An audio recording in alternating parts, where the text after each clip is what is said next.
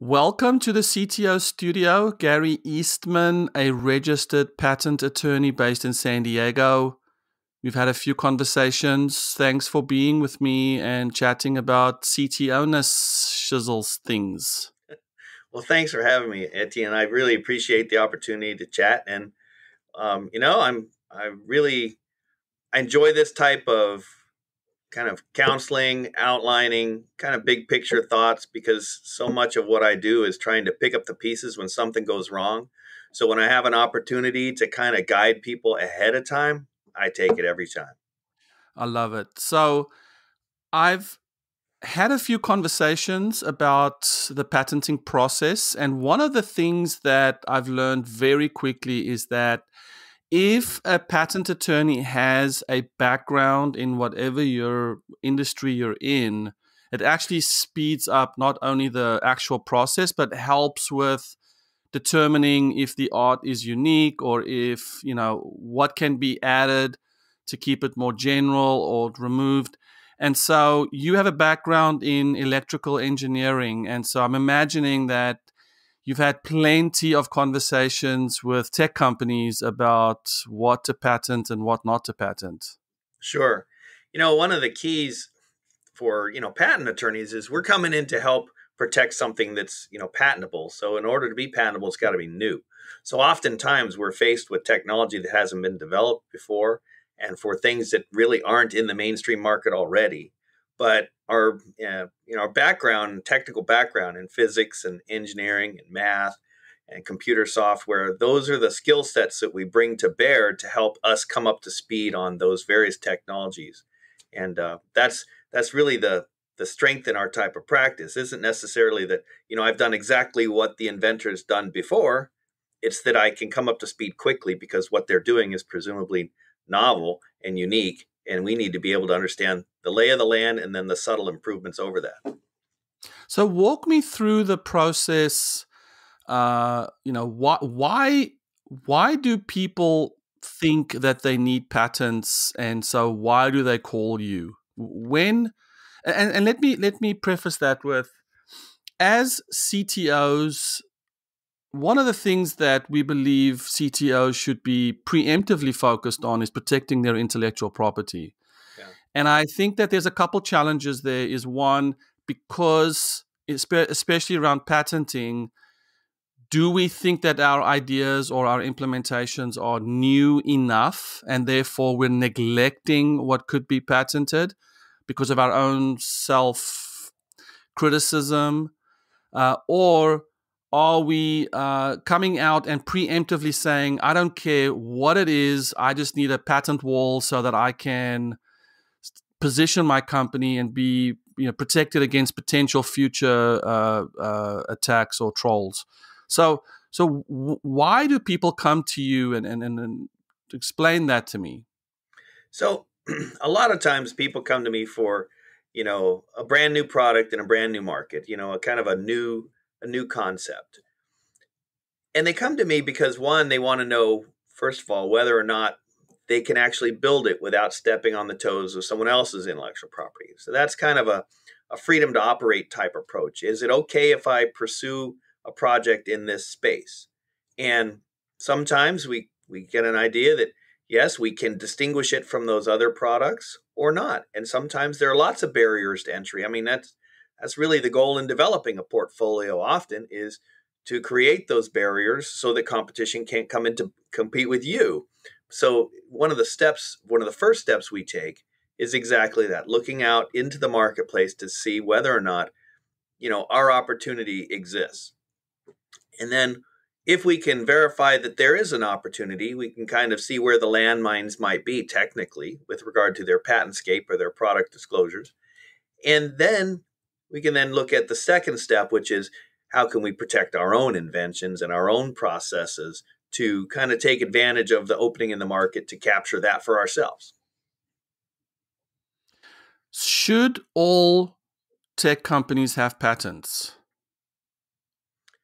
Some, not all. I can't say it's a sweeping all must have them because just as if you ran a warehouse and you were deciding whether or not to buy a forklift, you would make a decision of how much that forklift costs you and how much it's going to benefit you. And patents are no different. There's a cost of acquiring it and there's a benefit of having it. And you have to kind of make that almost on a patent by patent strategy, you know, an assessment. Is it a good value or is it not? Sometimes it's a critical value to the longevity and survivability of the company. You want to exclude people out.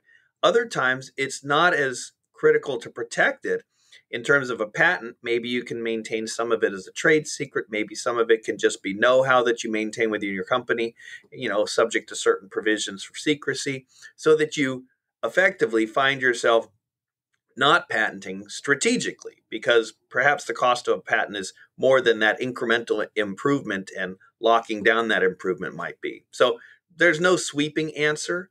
Generally, you want to make that evaluation, though, early so that you're not doing it after the opportunity to patent has passed, because then it might be clearly patentable, it might be clearly beneficial, but if you didn't do what you needed to do in the certain time frame that the law requires, then you would be prohibited from it and you've lost that opportunity. So the idea is, you know, is everybody mm. have to patent? No, but everybody has to think about it early.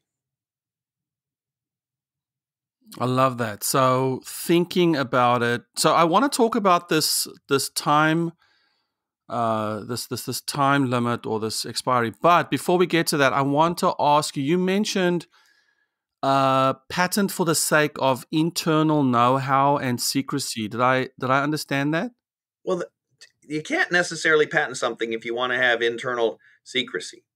Because when you patent something, you're effectively disclosing it to the world which means you have to write a description that is enabling. That enabling allows someone else in a similar environment to practice the invention without undue experimentation or testing.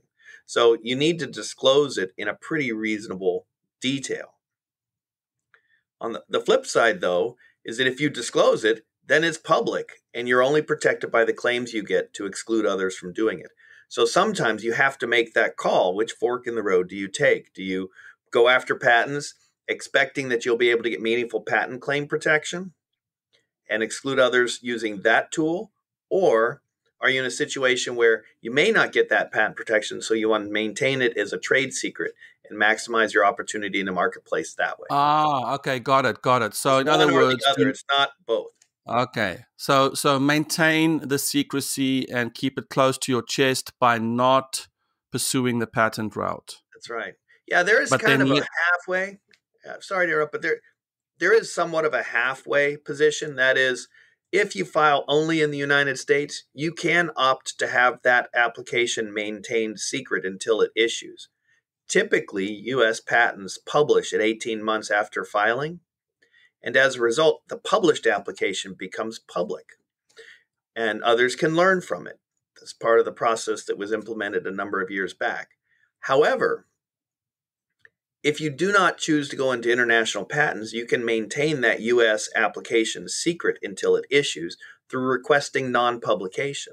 So, if you're not looking at getting a patent across other markets and other global markets, and you want to reserve only the United States, there is kind of a, a best of both worlds, which is maintain it secret, file a patent in the United States with non publication so that it will maintain in the United States secret. And it only publishes if it issues. And when it issues, then you've got the patent protection. So you can decide to abandon the application if it doesn't look like you're going to get meaningful patent protection. And as a result, that abandoned application never sees the light of day, is not published, and effectively you get to maintain it as a trade secret. It's kind of a best of both worlds, but that only applies if you're not seeking international protection. Fascinating. So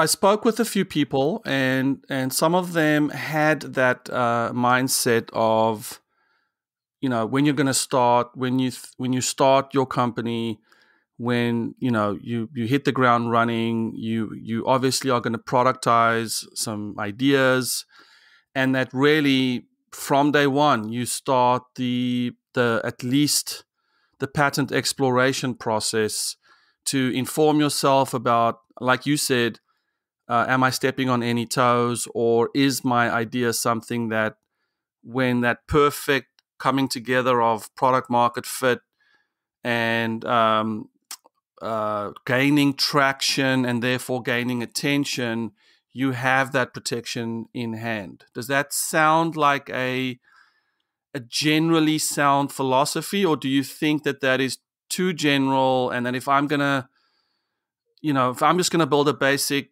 CRUD app that just takes forms and takes data, does something with the data, and then distributes that to, you know, I'm I'm trying to figure out. Again, I'm still stuck on the should we all be pursuing patents because we don't actually know how intellectually and beautiful our solutions actually are? Sure. Well, I mean that's it's an interesting question because there is no one answer. It's really a product and company based answer. And it's really dependent. If you're coming up with a, a solution to a problem that is different, it's kind of an outlier, maybe it's a contrarian approach to something, then you chances are you want to at least evaluate your patent opportunities very early. But there are a couple overarching timing rules which which I'll just outline really quick because the United States, it used to be um, the United States patent system was a first to invent country. And the system was identified and set out to effectively create a level playing field between various inventors, inventors in big companies versus independents. And the idea was that if you had conceived an invention and then methodically reduced it to practice over time and could verify that, then your date of invention is what your effective creation date was. And that's how you could determine who is the owner of a particular patent technology by who was the first to invent. So even if you didn't file today and someone filed before you, if you could get back to your original creation and conception date, it would be yours. That changed a number of years back. And now the United States is a first to file country. That is an enormous landscape change because that first to file means there's a bit of a rush to the patent office. And when you start looking at your criteria for, you know, what do I have to do to file my patent? There are a number of things you have to evaluate, and that is if we're interested in a patent, we need to file before someone else because otherwise we may lose the ownership of the patent. But there's also a catch 22 in the law that says in the United States, you have one year from your first offer for sale or public disclosure to file for a patent. So if you sold it today, you have one year from today to file your patent. Well, that that general rule flies in in contrast to the first to file stat, uh, system that we have now. And as a result, you know, even though in the United States you could file a year after your first sale, you've run the risk of somebody identifying it, seeing it, making improvement, and filing their own patent during that interim time period. So, my general rule is have something on file before you put your product into the marketplace. And there's a benefit for that because a lot of countries, non not the United States system, but a lot of other countries are absolute novelty countries, which means that if you have a public disclosure or an offer for sale or sale before your pri- or before your priority filing date, you're not entitled to patent in those countries. So that can be a significant value changer for a company. If you present it today, it might take off in the marketplace, but if you don't file it before you first sold it, you might have just immediately lost all those foreign patent rights for the base product. So, so that's one of the those are a couple of the competing competing goals. As a result, there are, there are benefits to filing early, and there are a couple tools that allow that to be done more efficiently. We can talk about the different types of patents later, but a provisional patent is one that puts you in the puts you in the patent office, gives you a legitimate filing date that can be uh, used as a priority claim to both U.S. and international applications. And so that's one of those things. It's kind of a stopgap. It's not the full utility, but what it does is allows you to get your foot in the patent office door, gives you a year before the conversion because it's got to convert it a year, and gives you an opportunity to go out and test the marketplace to see if there's some you know some legs under it. And then you can commit the more uh, significant resources to developing not only the U.S. utility portfolio as well as the international but that that keeps me on this track that really we should all be filing provisional patents because like you said w- what if you sold so you mentioned that if i build my product or my that contains my ip or whatever and it finds traction in the marketplace are you saying that it's too late? It's too late to file foreign patent protection most of the time because most oh, foreign for, foreign foreign patent protection. Yeah, it, it most of the time, if you have a sale that is a, a, you know public sale or offer for sale, most foreign rights will eliminate on that opportunity for sale without a prior patent application priority date. In the United States, you have that one year time period, but you're mm. also beating, you're racing the first to file clock. So you know you you have time in the United States, the one year from your first sale or offer for sale or public disclosure or use. But you're on the race to the patent office. So somebody who might see it in the marketplace might think, hey, I'm going to file on this, and if I file first, I get it. And so, there's some so this, caveats to that, but so this opens up a world. So so let's talk about that for just a minute. This this opens up the world for professional patent provisional patent filers right? Because they can just say oh this looks like a great product. I'm going to go and patent that. And then because the cto or the company didn't patent that can someone get undercut from their very the, uh, the business that they created? That's technically true. However the statute reads that the first inventor to file. So the presumption would be the first filer gets it. And if you could say that they derived or prove that they derived their invention from your publicly sold product or disclosure, then you might be in a position to claw that back. However, then you're in a different battle. And the simplest thing that avoids and sidesteps all of that challenge is just file early and file often. File early and file often. You see, this is this this this um, proves my hypothesis or my statement, which is everyone should be filing all the time.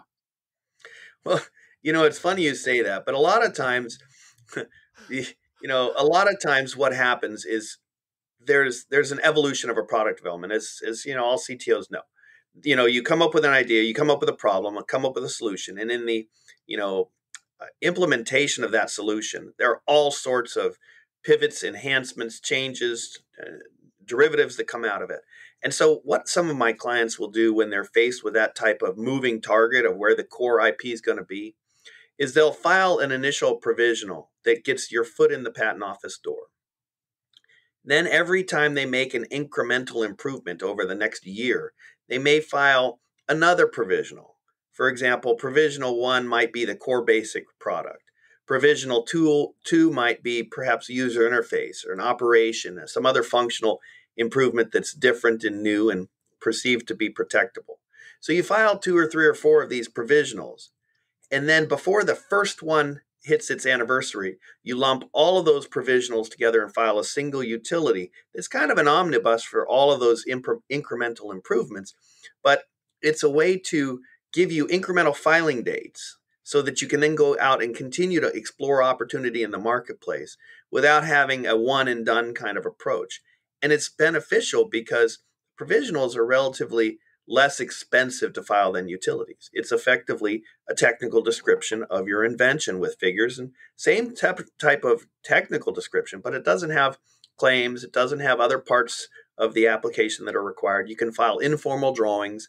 You don't have to go through the expense of formal drawings. So it really gives you the ability to get your foot in the door for those incremental improvements at a much lower cost. It gives you a great tool to develop your portfolio without breaking the bank doing it. So provisional is not defensible, right? Well, you can't sue on a provisional. Uh, uh, in terms of defensible, it's you it's it gives you a priority date and it gives you a file in the patent office. So as soon as you file your provisional, you can mark your products, mark your promotional material patent pending. That gives you the statutory basis to do that. Then, once you file your utility that converts to it, you know, it will publish at 18 months unless you ask for non-publication. And in the event it publishes and then ultimately issues, if you give notice to somebody for the published application, then you'll have some rights. But typically, you don't have the right to sue for patent infringement until you have the actual issued patent in your hand.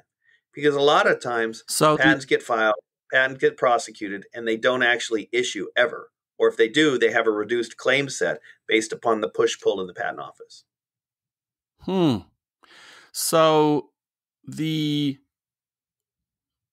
provisional patent process with this sort of annual lumping things in and keeping it growing is almost like employee stock option plan where you ha- you have this right to execute and it's held for you in a way keeps the door open for you and you sort of reserve your spot. And and when you can convert that to a utility that's when it becomes defensible and offensible and all that correct Right. Once you get, you know, the the patent option is a good analysis because the the provisional provides the foundation for a later claim in a utility patent. It has to be enabling. You have to describe it to a point where it's sufficiently described for someone else to practice it. So it can't be kind of half baked. It needs to be pretty specific as to what you think of at the time. And then if you, you know, make different changes, you file another one that's specific to that time. Then when you lump them all together, that utility, that's the application that gets in the queue for the patent office and actually gets examined. That's when the examiner reads your application, does a prior art search, makes determinations of certain claims are allowable, some are not allowable, and perhaps some other amendments along the way. But until it actually Got issues, it. I yes. say until it actually issues, you can't actually file a lawsuit for a defense of that technology. Okay, so um, um, is it possible that we are infringing on multiple patents without knowing it because we added a button to a form that when you click it it submits to a server like are, are there are there frivolous patents, just thousands and hundreds of thousands of things out there that we are infringing upon, but someone just hasn't come after us yet? That's a tough question because there are 10 million plus patents. and and trying to identify exactly what the freedom to operate includes is often difficult. But what's important to keep in mind is that in order to be patentable, something has to be new, useful, and not obvious. And so when people get patent claims, those patent claims have to satisfy those three options new, useful, and not obvious. And when you're looking at whether or not you infringe something, you need to go back at other people and look at other people's claims and determine whether or not every element in their claim is in your device or system or process. If every element is, even if you have other elements, it's an infringing, technically, it's an infringing uh, product or system. So it's, it's somewhat of an arduous task to determine what it is, whether or not you're infringing or not. And so as a result, it's very important for CTOs when they're strategizing, you know, their portfolio development to have a clear understanding of the competition, the the patent positions of those competition um, uh, of their competition, and as a result, make a determination as to where the liability exists and where it doesn't. You can't. It's very difficult to do a global comprehensive search on every single patent and whether or not you're infringing or not. You can make some decisions as to let's look in our product space, look in our competitive uh, landscape and to determine whether or not we have a likelihood of infringement, and then make a determination from there. But comprehensive global patent infringement analysis, they're very time consuming, very expensive. So often the stopgap is to effectively identify where those landmines might likely be and then scrutinize that landscape more clear, uh, carefully.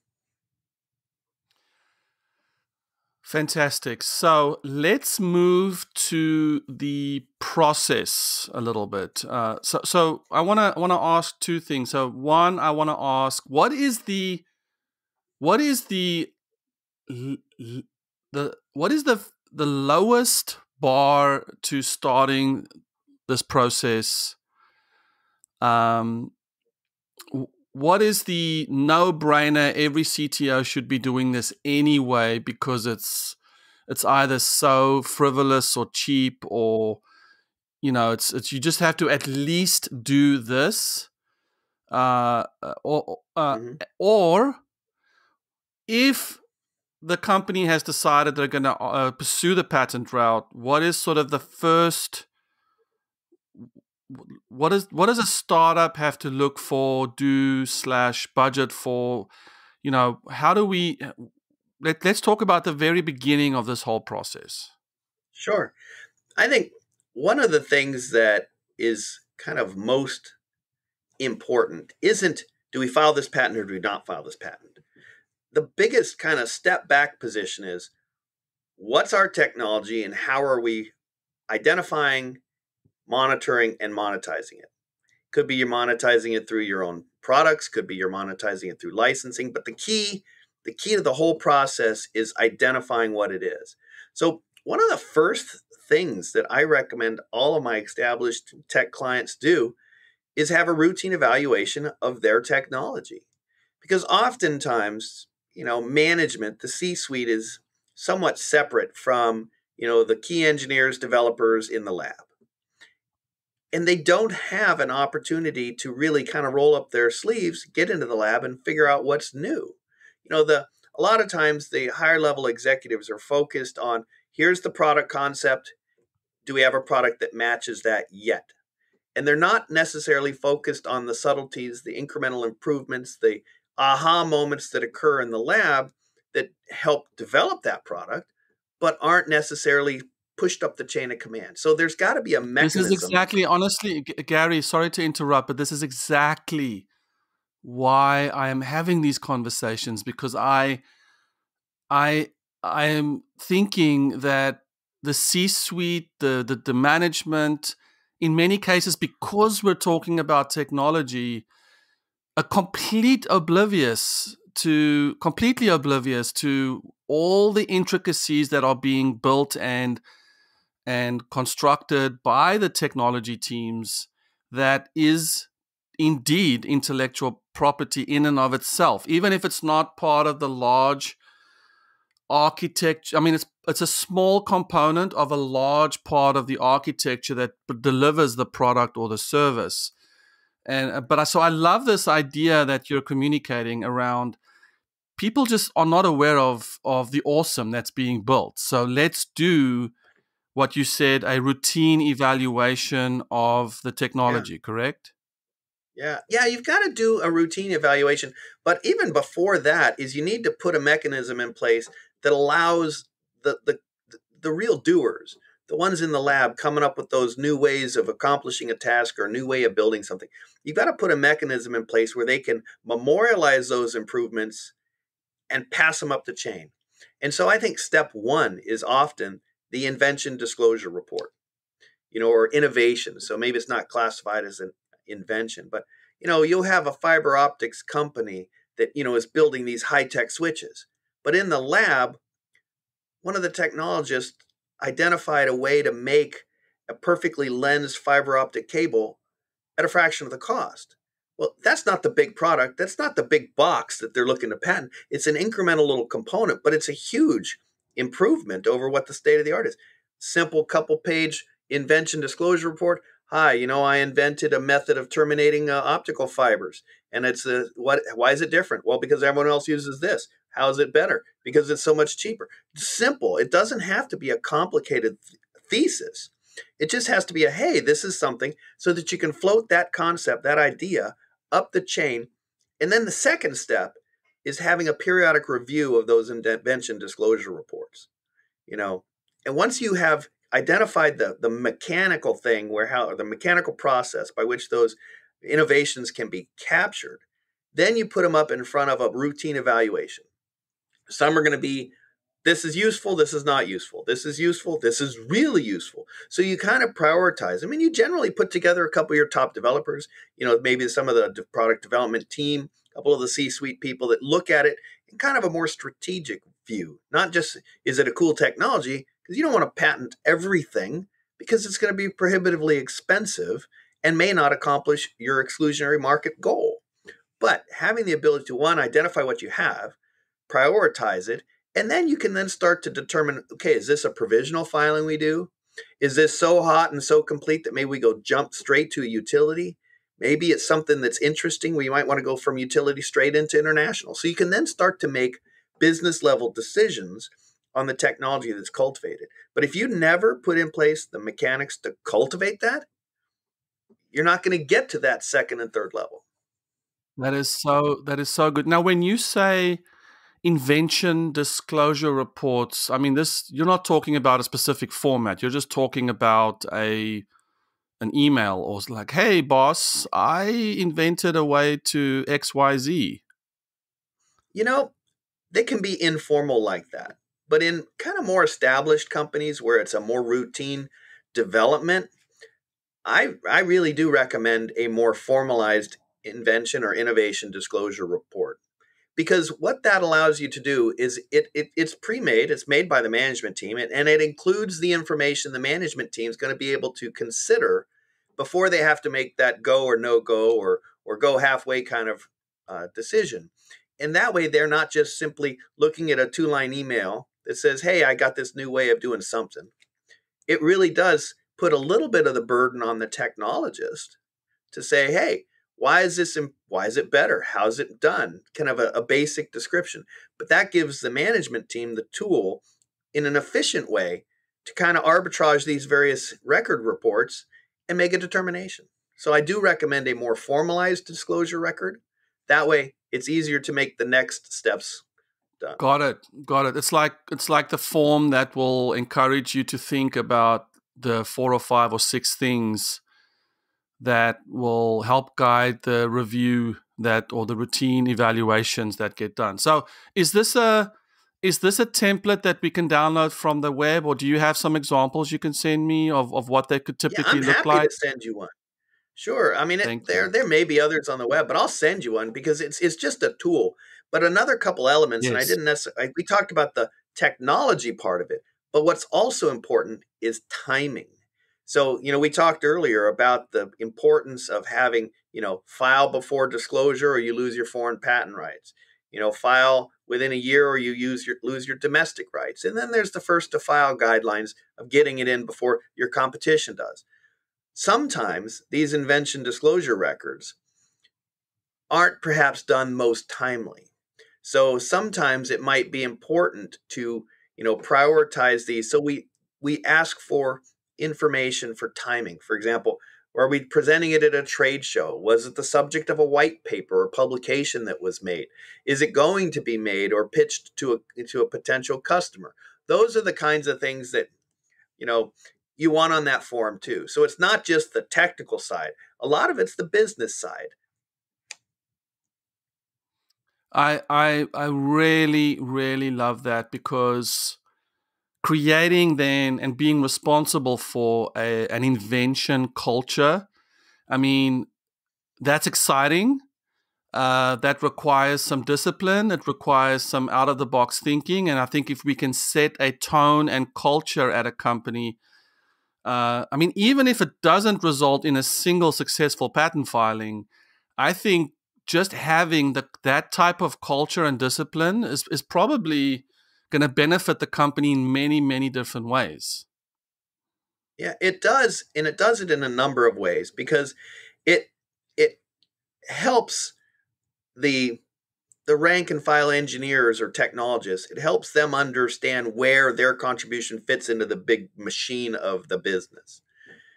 Some companies encourage them to do it by a number of ways. Of course, you know, the engineers are typically pressed on development. They've got their Gantt chart on the wall or the schedule that says we've got to do this and this. It's got to be done in a in an organized way because you know it's a you know it's the it's a short path between various things so they're really pressed on getting things done so you have to you have to incentivize or encourage them to do these invention disclosure reports because one it's not part of their job description typically you know, their job description is build the widget that goes from here to here and do it in this time period on budget so a lot of companies will recognize their their commitment to the in, in innovation disclosure record program by either giving them a, a little perk when they file one, um, giving them maybe some uh, economic incentive once the decision to file the patent is made, and then maybe another one to incentivize them once the patent is issued. There's a balance there because what you don't want to do is provide enough incentive so the engineer just simply files, you know, 40 invention disclosures every week because he knows he gets 50 bucks a piece and he makes more on that than he does as an engineer. So and doesn't get his job done. So I mean, and that's that's the balance, and I've seen it happen. So there's a catch 22. You want to incentivize and encourage, yeah. but you want to, don't want to disincentivize the the real work. Uh, but it's really integral. And if you uh, go from the top down in terms of the C-suite, pushing it down the column to the, the even the most basic technicians, that mindset helps them think in an innovative way. Yeah, it's uh, uh, again. I think you nailed it with the, that mindset that works its way down all the way to junior developers uh, to be part of a culture that is inventive, innovative, and then also, and maybe my next my next turn in this conversation is is to protect and have the whole team protect the intellectual property of the organization. So, not to frivolously give away uh, access to code base, to data, to but to really have a a way to to protect the intellectual property. So, my question to you, maybe before we move on through the rest of the process, is: Is patenting the only way in which intellectual property can be protected, or I know we talked about keeping it secret. Uh, we talked about patenting it. Is there are there other ways in your mind where you walk into a startup or a technology company where you say, "Hey, really, you you don't really want to patent this. You want to X or Y or Z in order to protect your uh, IP." You know, you kind of hit the nail on the head there. That patent's not the only way. You know, when we come into a new company, we really come into it with an eye towards risk mitigation. And that risk mitigation comes from kind of a holistic view of whatever you need to be uh, successful in your business, you want to protect any way you can from somebody else taking it. And you want to make sure that you do simple things to protect your employees from taking it, from your competition for taking it, or from you giving it away. And so there are a number of ways to do that, but it really does start with the employee mindset of making sure that your employee knows they're an employee or your your management team is in the management team they're in positions of responsibility. And that position of responsibility brings with it certain responsibilities such as keep secret things secret don't let the code out without you know suitable protections you know man- manage your ip portfolio to maximize its opportunity in the marketplace. And so it really starts with you know the new hire engagement agreement or employment agreement and the employee manual that says hey you know these are these ip types of things are important to us. And as a result you promise before you ever step in our door that you're going to maintain them in the confidential way in the secret way according to our plan whatever it is just make sure there's a clear understanding up front so that you're not trying to chase these resources back. You make it clear right up front Next, you got to keep in mind what types of intellectual property you have. In a kind of a basic way, you've got patents and trademarks and copyrights and trade secrets, maybe know how. But most of the time, if there's something valuable for your company, there's a way to protect it, either through one of those or perhaps a mosaic of those. And, you know, we talked about patents, anything that's new, useful, and not obvious, you know, things and methods. You got trademarks. Trademarks are logos, words, phrases, designs, things that are used to identify the source of your business or the service or products generated from your business. Those are pretty straightforward. You know, famous ones are, you know, on everything we buy, but it also gives you know, consumers an identity of this is a basic brand that we expect a certain quality of goods for, things like that. Just keeping people in mind that you're going to use the marks, use the trademarks, promote your product, do it in a particular way. So education, edu- educating your employees is really key. Then, excuse me. Um, then there's copyright. Copyright protects works of authorships. It can go to the website, you know, the, the selection arrangement presentation of things on your website, um, goes to photographs, code, software, text, things like that. Anything that's an author, a work of authorship is protectable through copyright. Trade secrets. Trade secrets have to be maintained secret. A trade secret is you know any information that's by your company owned by a company subject to certain provisions of secrecy that give an economic benefit to your company you know that's kind of the boiled down definition but the idea is you know secrets are intended to be secrets you may want it to be a trade secret but if you don't make it a secret the law is not going to come in behind you and make it a secret so example you know you're a global sales network you've got a great product that's out in the marketplace and you put on your website that you do business with these 500 customers across the globe. Well, you can't say it's a trade secret violation when your employee leaves, goes to a competitor, and sells to all those customers because you have limited and eliminated it being a trade secret because you published it. So it has to be subject to certain provisions of secrecy. And same thing with the other aspects of intellectual property. Make sure anybody in a position of information knowledge for that information knows it's a trade secret.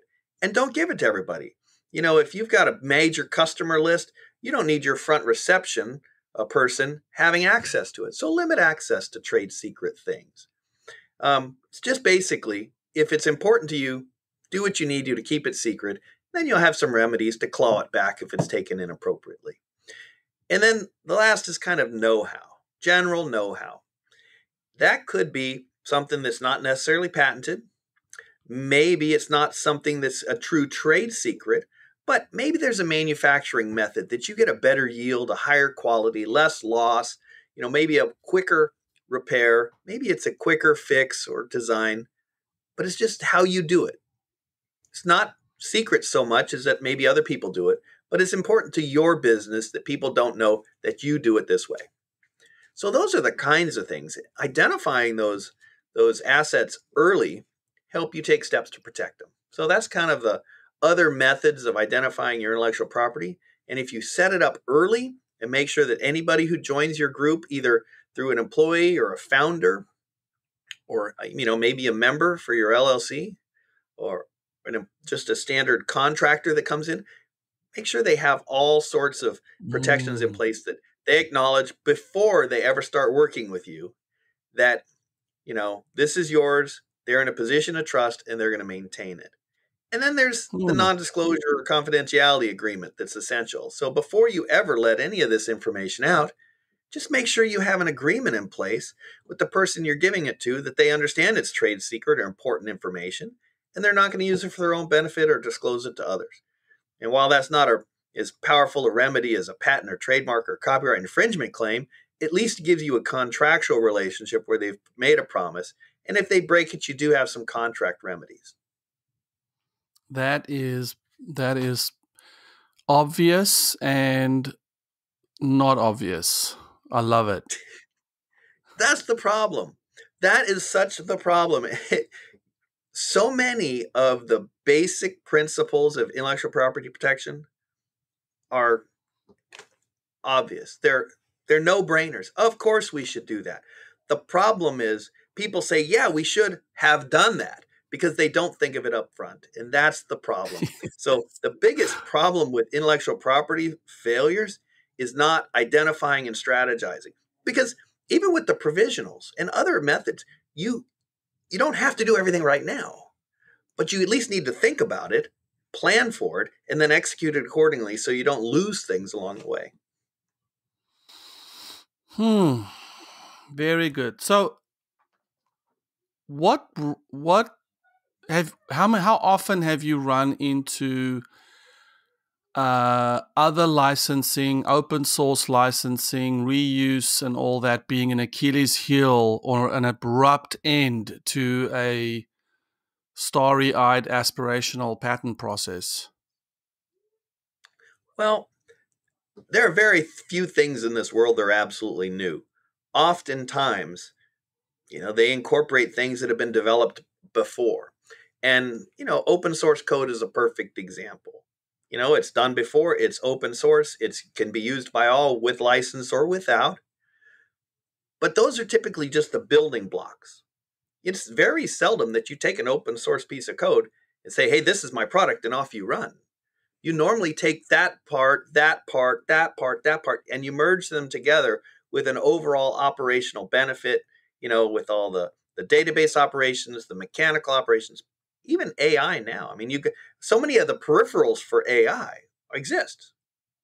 It's the core operation that's the difference. And even some of those may be open source. So what you're not looking to do is you're not looking to repatent the open source information that you've got. You're looking to protect the cooperation and assembly of those otherwise existing pieces into something bigger. That's what your source or that's what you're seeking is the patent protection for those. Have but you are seen, right. Have you seen situations where open source licensing have uh, became a liability or a, an impediment to this process? Well, it can be a liability in a number of ways. First off, in order to be patentable, it has to be new, useful, and not obvious. So, since you're acknowledging it's open source, it's been done before. So, is it an obvious combination or is it a non obvious combination?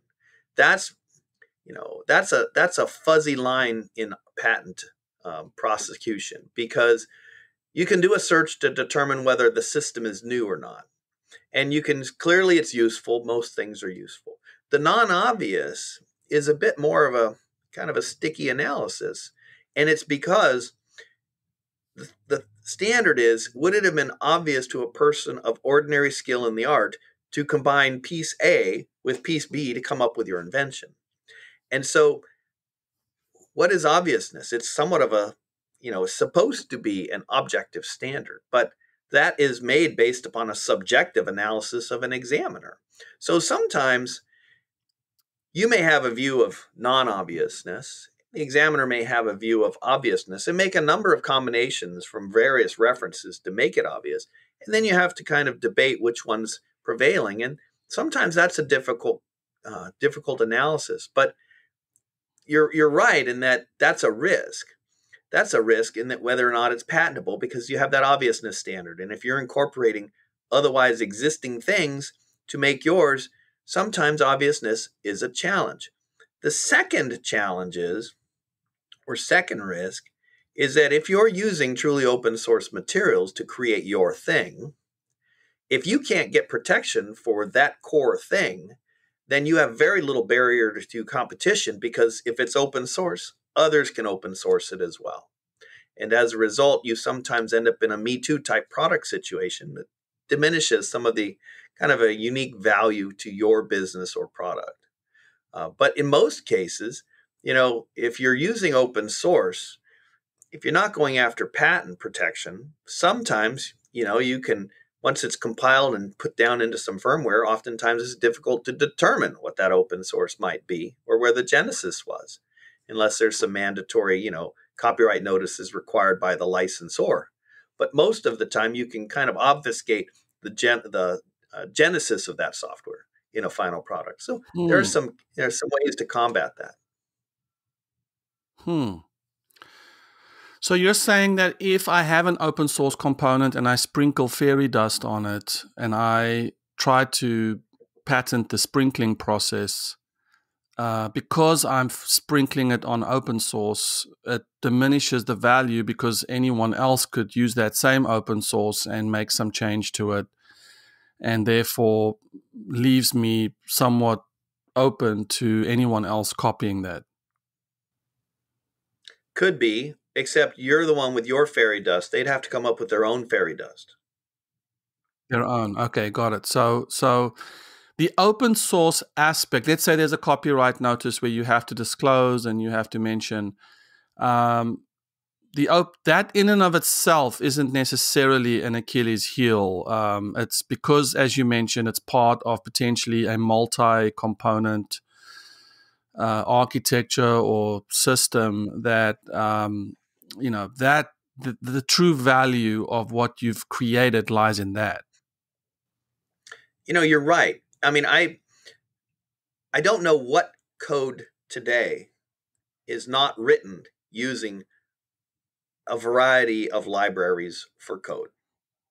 You know, when you're looking at, you know, developing your software, you know, you're using, you know, you can use various languages. You know, you might write it in C or, you know, or flavor of C, and you might sprinkle in some Tcl code. You might sprinkle in a handful of other things to accomplish the user interface, the various database management tools, you know, some SQL components. It's hard to say. You typically don't just sit down and start with, okay, line number 10, begin. You know, you don't do that anymore. The development is really modular based. And so even the most complicated software is used by library uh, uh, cooperation of various libraries. So you're not necessarily looking to patent the small operational issues. You're looking to patent the way that software operates within a digital environment. And it's an interesting area because there's been a great deal of discussion and debate in the patent office with whether or not software is even patentable. And over the last eight years, there's been a very significant pendulum swing from patentable to wholly unpatentable, and it's starting to swing back. And it's been a it's been an interesting ride uh, in terms of being a patent prosecution uh, professional trying to identify what's patentable and how we can work with the patent office requirements to get it to be patented. And in the last three years, I think the patent office has issued four or five different software patent um, examination guidelines. So it's clearly a moving target because the Supreme Court rules it's not patentable.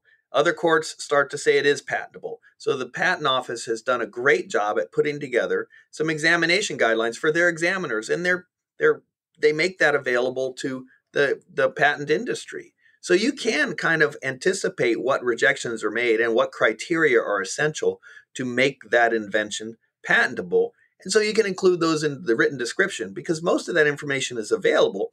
But if you didn't specifically identify it in the application, you can't use it in an argument later. So those examination guidelines help us determine what fairy dust we need to sprinkle in there and what components we need to include. So it helps us optimize our opportunity and likelihood of getting a patent for a digital based product like that. And this speaks then to the the benefit of of of bringing someone like you in early and saying in an exploratory way our company's livelihood is going to be built on this IP. Um, someone with your background and technical experience and expertise and training could then say, okay, according to the guidelines, according to the claims, according to specificity, this is what we need to adjust or add or remove from your IP in order to make it more patentable? Is is that the way you would contribute early on in the process? Yeah, you know, one of the biggest values of bringing somebody in to that process early is to come up with kind of a I mentioned it earlier, kind of a competitive landscape. And the way we'll often start this process is we'll create kind of a product matrix, product feature matrix. And on the the left side, the horizontal lines will will identify your components, your process, your methods, you know, certain features that your product system does. And then along the top, we'll put in, you know, either known competitors, known prior art patents, known periodicals, things that disclose those uh, features that we're looking to protect in our invention. And so it's a very targeted type of portfolio development. And that targeted portfolio development is effectively you make that matrix and then you look for the holes. You know, the holes goes, you know, if if you have a, a request if you have a system that does X and X is not in any one of the references, then we want to see how we can patent X and prevent someone else from adopting your X. And so when it's it's you know that's a simplified version of it, but a lot of times these matrices are enormous, and they're enormous because there's a lot of competition and there are a lot of subtle features. So we start to look at groupings of empty, you know, where there's an opportunity to, you know, capture this particular functionality. The earlier you do that, the more you can use that intel to start to steer the development process through the, you know, into, you know, from top down. Instead of just simply say, we want this to do this and telling your engineers to do it, you can effectively start to identify these are the features we'd like to. Can we accomplish this technical task? And then start to help the development the development team down to the engineers and, and technicians to start to implement that to optimize your benefit. Because keep in mind, patents patents are not permissive rights. Patents are exclusionary rights. So even if I have a patent on a technology, it doesn't mean that I can make that technology it means I can exclude other people from making that technology. And I'll give you a real simple example. And it's it's basic, but it illustrates the concept clearly. And that is, you know, I come up with a method of coming of taking water from one place to another. And it's a cylinder that's hollow with a bottom. And I call that my bucket. So I've got a patent claim with a cylinder that's hollow with a bottom. And you know what, Etienne, you come in and go like, you know what? I love Gary's bucket. It's so useful. But you know what? I can only carry one at a time. So you're going to come up with a new invention. And that is, you're going to come up with a cylinder that's hollow and a bottom and a handle. So you get your patent claims on cylinder, hollow, bottom, handle. You're going to get this patent because it's new. And assuming it's not obvious, that might be a tough one on this one, but you've got your four element claim. But in order to make your bucket, you would necessarily infringe the three elements of my claims. You would have the cylinder that's hollow with a bottom. So you could protect and you could exclude me, even the bucket creator, from making a pail, but you couldn't make your pail unless you worked out a license with me. Because I would have the exclusionary rights for the pail. You might have the exclusionary right. I mean, I would have it for a bucket, you would have it for a pail. So there may be a great cross licensing. Now, that's a fundamentally and borderline silly example, but conceptually, it applies to the most complicated of machines and software and code and other things. Because if you look at it with that way, you need, you know, having the right to exclude doesn't necessarily mean you have the right to practice the invention. So that's why the competitive landscape we talked about earlier is so important because you want to make sure there's nobody out there with a bucket to prevent you from making your pail. Mm. So let's say, for instance, I have an idea that I um going to take books and I am going to sell them on the internet through a website that will give you the opportunity to search for them. They'll be categorized. You can maybe peek inside. You can maybe uh, select from uh, suppliers and you can click and you can purchase a book and we'll ship you the book. What are the chances that I am infringing on someone's patent? Well, for doing that. Speaking, you know, I, I haven't actually looked at that particular issue, but Mr. Bezos may have a few things on that. Um, you know, with other companies that have, you know, a few different, uh, you know, methods of, you know, like the one click shopping, things like that. Those are those are improm- in incremental improvements to an otherwise existing technology. But what's also really important to keep in mind is that patents have a finite lifetime. Patents, you know, this day and age have a life of 20 years from the first filing date. So, being that, you know, Amazon started way back when with that basic concept, there's a fair chance that the, the bucket patent might have expired. And so if it's expired, you can practice that invention. That's the nature. That's that's kind of the give and take of the patent office. You know, patents are exclusionary rights. They're monopolies. And the United States typically disfavors monopolies. in most circumstance. The patent program is an exception to that. And it's it's based upon the notion that in exchange for you disclosing your invention to the world through the patent application process, you get an exclusionary right, a monopoly for a period of years to recoup that investment. You know, founding fathers realized that absent some sort of exclusionary right, people wouldn't do it. You wouldn't invest the money because there wouldn't be an opportunity to recoup that investment. And most of the time, as soon as a product would out, somebody would copy it and you wouldn't be able to get any money back for the development costs and the time to do it. So it's really an incentive to advance science and technology. That's the basis mm. of the patent system. So, so, so that's the, one of the things. Sorry, go. Sorry, go ahead. I was just that's one of the things that incentivizes patent filing is that you have that exclusionary right.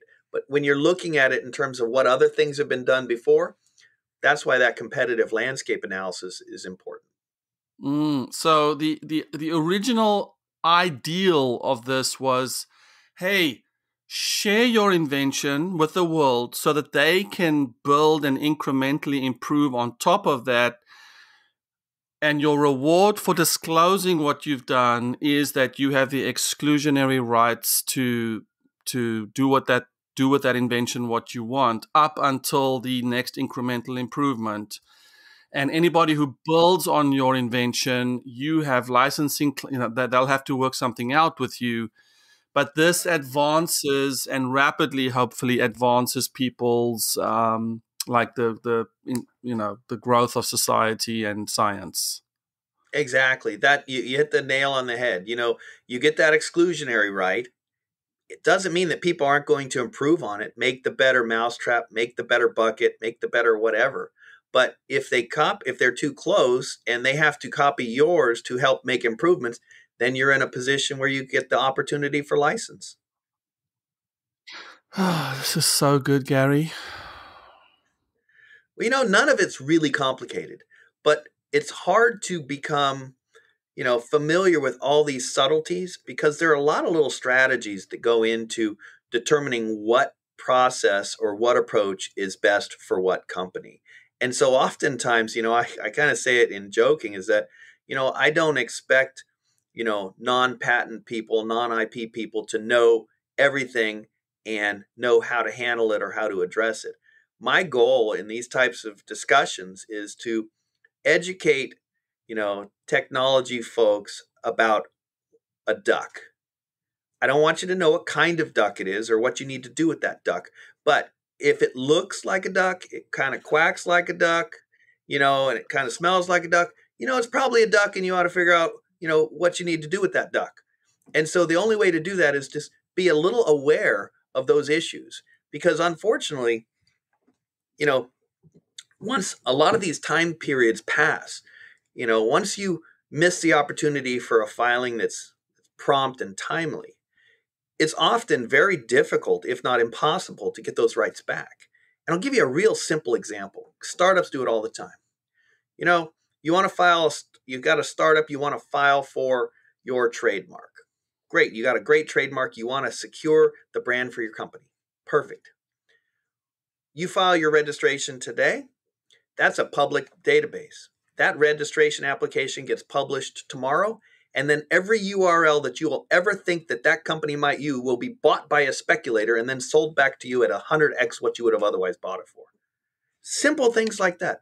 So, you know, before you do something that's more public, make sure you do the things that you can to minimize your future costs. And and there's not a lot of remedies for that because if you're just filing it, you haven't started the company, you can't say that you're squatting on my trademark because I haven't filed it or used it yet. It's just a you know, just little things like that, you know, that just help minimize the future risk for a company. Yeah, it's like when I formed seven CTOs, I went and registered five CTOs, six, seven CTOs, eight CTOs, nine CTOs, 10 CTOs.com. I think I'm all the way up to 2,000 CTOs. So I pay a fortune in domain name renewal fees. Well, you might, but do you know what a cease and desist in a trademark infringement case would cost? Probably a lot more than that. And so it's the old ounce of prevention is worth a pound of cures. You know, and his seven CTOs, did you get the S E V E N or just number seven? I mean, there are little things like that that when you start, I got, I got the number, I got the number and the word. Yes, right. And, and there's a reason you do that. It's because being able to prevent someone from just, you know, waiting till seven CTOs becomes a household name, and then they start knocking it off. Because early on, it's easy to do that protection and put those little things in place.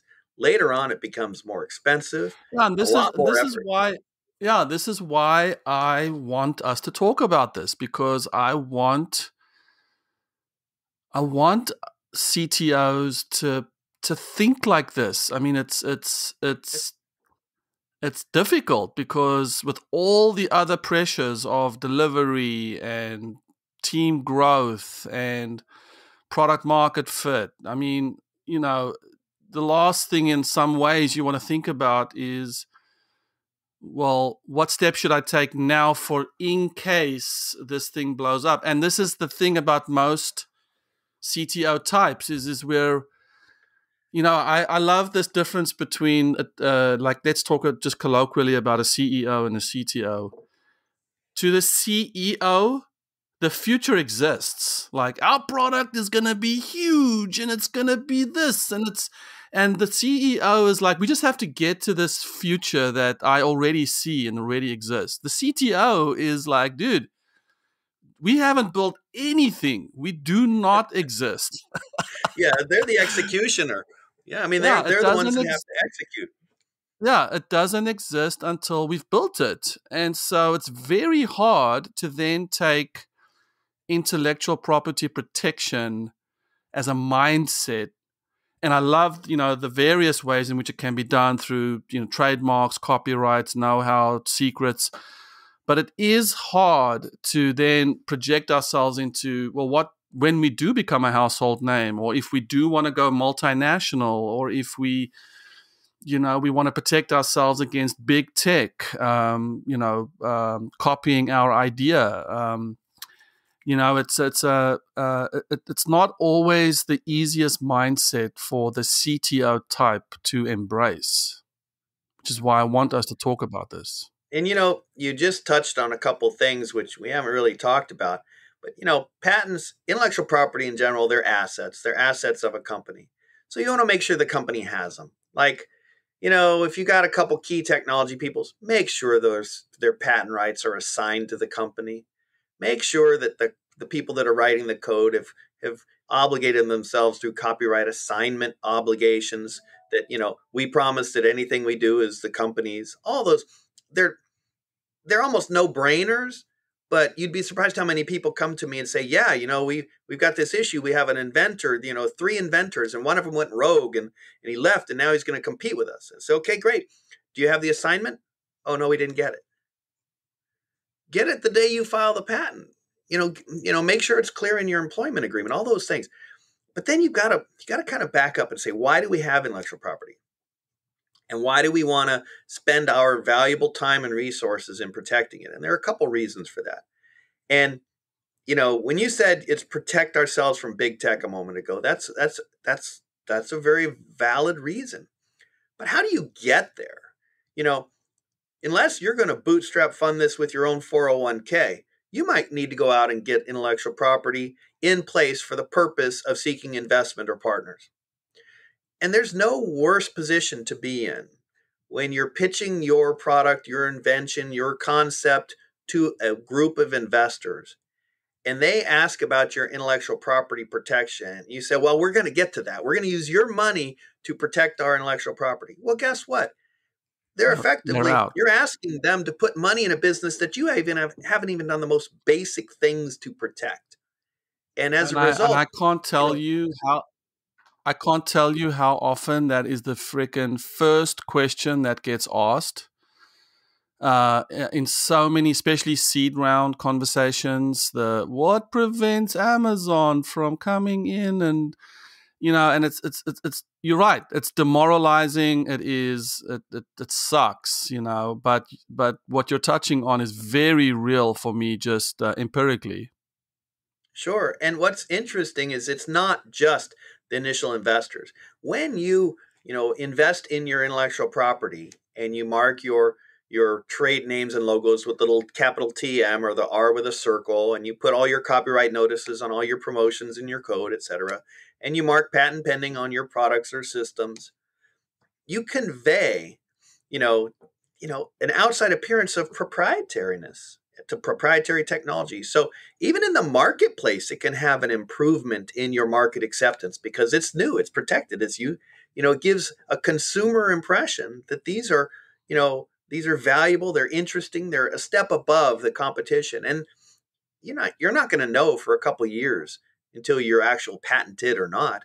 It takes that long to wind through the patent office, but during that during that time, you're patent pending, you have that impression of proprietariness. That's thing 1 thing too is you know the, you get to the investment money you know hey you know we want to you know we want you to invest in our company and in exchange for that you know we're going to use your money no they want you to come in protected because keep in mind most investors they're not going to sign disclosure confidentiality agreements because guess what they see investment after investment the deal flow that they see is beyond comprehension particularly recently and as a result you want to have this protected before you even step in there because if you don't, then in their mind they're thinking, well, you just came and pitched it to us. You just opened up, you know, all the details of your business. How many other people have you done this to? So we might already have an organic farm of competition mm. just by hmm. your pitching it. And then the third is, mm. what about the end game? When you're going to, you know, you say protect from big tech. What about be acquired by big tech? You know, it kind of goes two and two if you're not going to, you know, if you can exclude big tech from competing with you, then maybe you're the next Google Teams acquisition because they need that tech space to complement something else they're doing or some other, you know, acquisition. And without the fundamental IP in place and those other basic principles that just keep you on the straight and narrow towards protecting your IP in general, then you're at risk that your value might be less because, you know, you might not be totally exclusionary. You might have an advantage, you know, time wise, and effectively, we're going to pay for the the time that we would otherwise have to commit in the lab. That's a very very different monetization equation than you know we have an exclusionary right. You cannot play in this park unless you buy our stuff. That's a completely mm. different equation. Wow, that is a fascinating.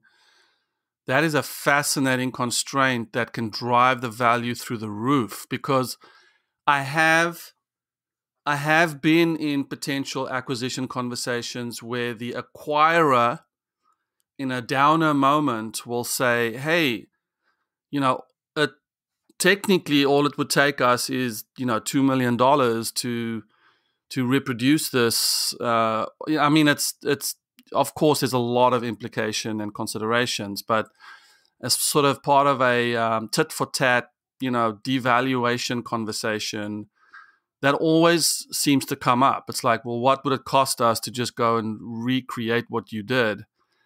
Um, so if you can say, well, you wouldn't be able to because we have these patents in place, so you'd have to license that from us, value goes up. Is that what you mean? Exactly right. Yeah, no, that's exactly right. So, you know, one of the, you know, you know, everyone understands what due diligence is, I kind of have a different phrase for it, and it's the opportunity for a potential investor or purchaser to take your $20 million company and devalue it to $5 million that you should be happy to get because of certain check boxes aren't checked. And so just having an idea of what those check boxes are early, and that's, you know, if there's an underlying theme to our entire discussion, it's just look at those check boxes early because whether it's patents or trademarks or copyrights or employment issues, or do you have product liability insurance, or do you have a, a business entity that's structured, and formed and maintained, those little things are just simply check boxes that if they're not done right, that's the opportunity for that acquisition to be less valuable, for your you know um, valuation to be lower, and be subject to the the hole poking that so many investors often do. Gary, you drove me nuts.